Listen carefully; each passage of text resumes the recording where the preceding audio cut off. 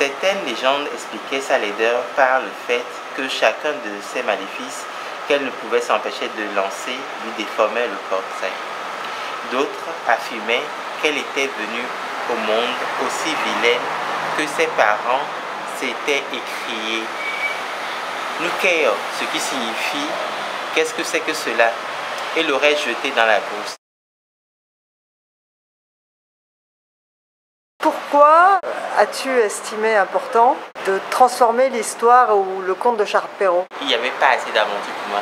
Euh, la belle ensorcelée, c'est à la base conçu pour être un roman, un roman pour distraire les enfants. Même si sur la couverture c'est écrit conte, je l'ai écrit comme un roman d'aventure.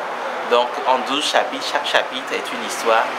Donc dedans, j'ai deux personnages qui évoluent euh, le premier personnage, c'est le grand méchant, la sorcière, l'équivalent de la fée Carabosse qui ici s'appelle Nuker, c'est la sorcière super méchante.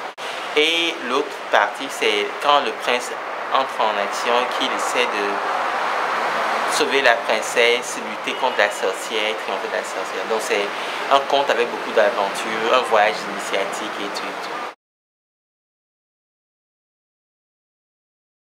J'étais inscrit en lettres modernes.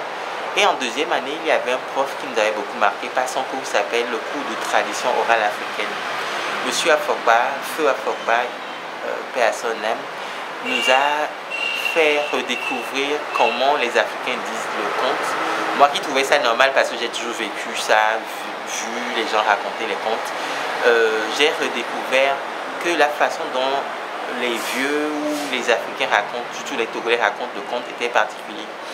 Et, et, cette façon particulière de dire le conte euh, m'a assez touché et j'ai décidé d'écrire mon livre comme un Africain euh, raconterait un conte